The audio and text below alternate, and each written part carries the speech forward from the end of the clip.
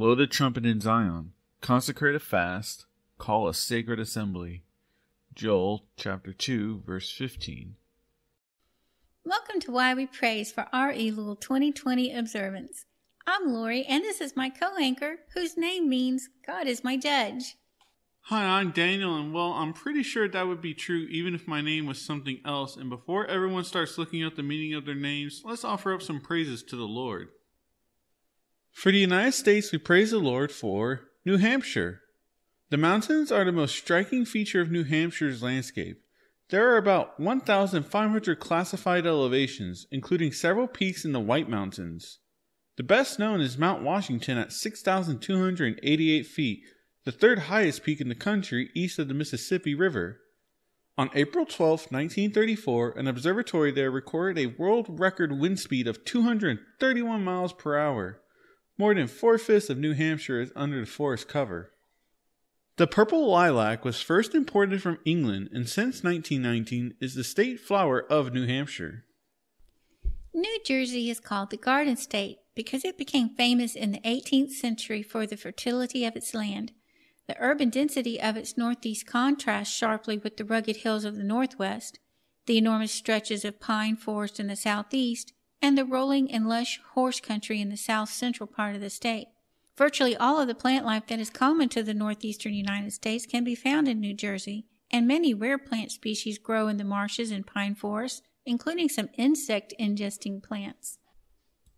New Jersey's state flower, the common blue violet, can be found everywhere in the state and well beyond. Around the world, we praise the Lord for Mali. Mali is situated mostly in the Saharan region. Mali is largely flat and arid. The Niger River flows through its interior, functioning as the main trading and transport artery in the country. Sections of the river flood periodically, providing much needed fertile agriculture soil along its banks as well as creating pasture for livestock. We cannot find a distinctive floral reference for Mali, but we hope you enjoy this shot of the Niger River through Mali.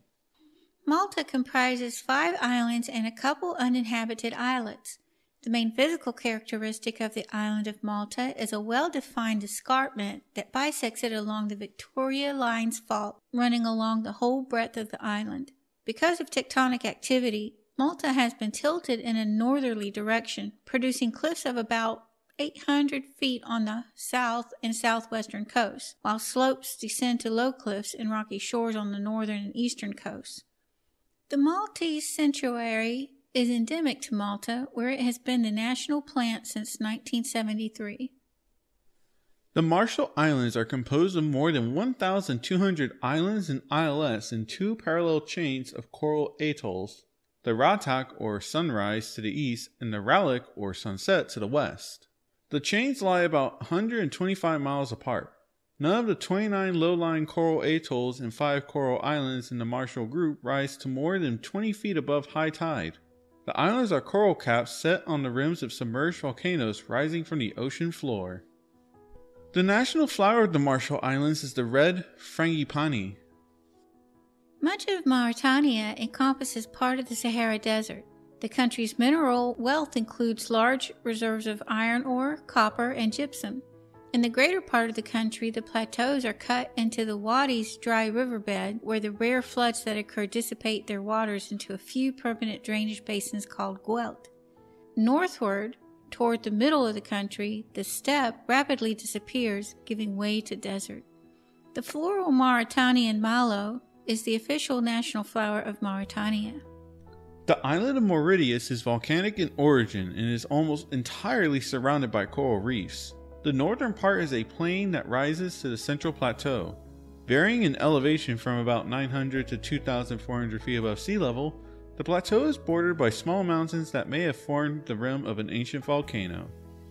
Trochetia boutoniana was declared the national flower on the 12th of March 1992 when Mauritius achieved the status of republic. Mexico is located in one of the Earth's most dynamic tectonic areas.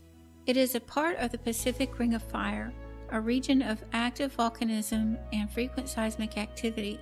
Among its towering volcanic peaks are the Orizaba, which forms the highest point in the country, and the active volcano Popocatépetl, the largely volcanic Sierra Madre Occidental, which forms the western border of the Mexican Plateau, has an average elevation of 8 to 9,000 feet and extends roughly 700 miles from north to south. The dahlia was declared the national flower of Mexico in 1963. Micronesia is composed of more than 600 islands and islets in the Caroline Island groups. The islands are of two general types high volcanic islands that support a large variety of plant forms and low lying coral atolls with poor soil. On the high islands, mangrove swamps grow along the shore and grasslands or shrub ascend to tropical rainforests in the interior mountain areas. On coral atolls, the predominant forms of vegetation are the coconut palm along with pandanus and breadfruit trees. The Micronesian national flower is the hibiscus. Why do we praise? O Lord, you are my God. I will exalt you, I will praise your name, for you have done wonderful things. Your counsels of old are faithfulness and truth. Isaiah chapter 25, verse 1. Let's raise our hearts together in praise to the Lord today. Dear Heavenly Father, thank you so much for all your wonderful many blessings and what we see you doing around the earth. Our verses today remind us to blow the trumpet in Zion, and our whole country is coming together to fast and pray as everyone seems to look forward to the sacred assemblies coming up here in uh, September and October, starting with the Feast of Trumpets in about 10, 11 days maybe. And for the first time since Israel became a nation again, they've petitioned to blow the shofar on the Temple Mount. And we know that you're watching over that situation, and we lift that up to you, Lord. In all things, that you will be honored and praised above all. Just like it says in Isaiah, we will praise your name, for you have done wonderful things. Oh, and your faithfulness and truth is awesome, and we depend on it so much. And we're praising you for your handiwork in New Hampshire and New Jersey for the United States, as well as Mali, Malta, Marshall Islands, Mauritania, Mauritius, Mexico, and Micronesia around the world. Heavenly Father, these are beautiful places, beautiful souls in them, and we praise you and thank you for them all. In your precious and holy Son's name, Jesus. Amen.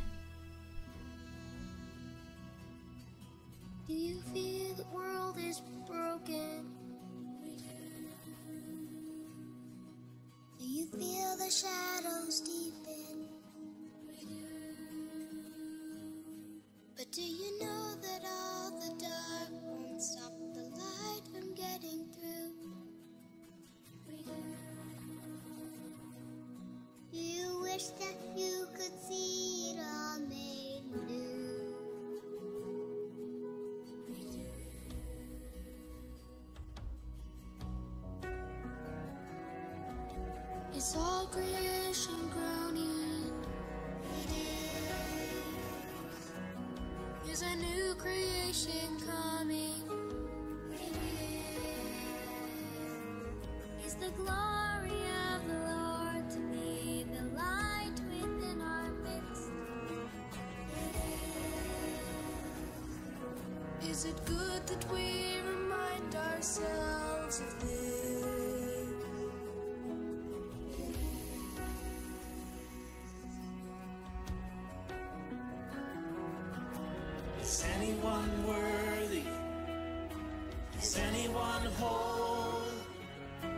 Is anyone able to break the seal and open the scroll?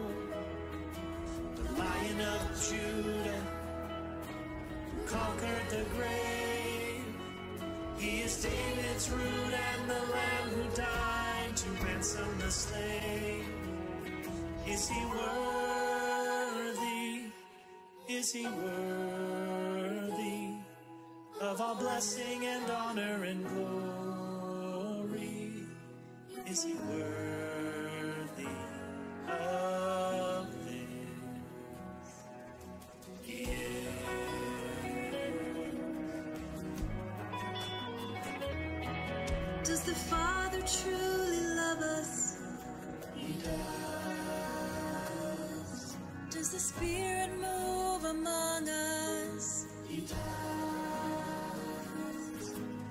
Jesus, our Messiah, hold forever those he loves?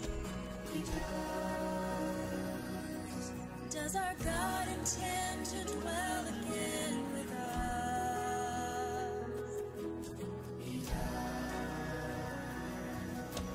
Is anyone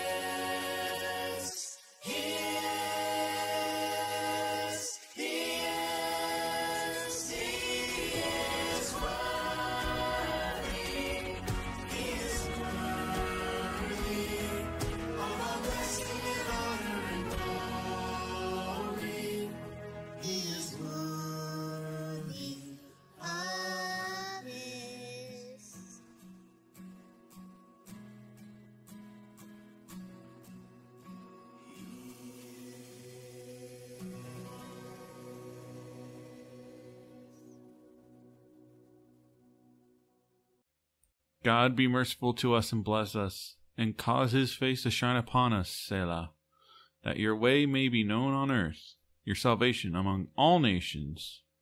Let the peoples praise you, O God. Let all the peoples praise you. Oh, let the nations be glad and sing for joy. For you shall judge the people righteously and govern the nations on earth, Selah. Let the peoples praise you, O God. Let all the peoples praise you. Then the earth shall yield her increase. God, our own God, shall bless us. God shall bless us. And all the ends of the earth shall fear him.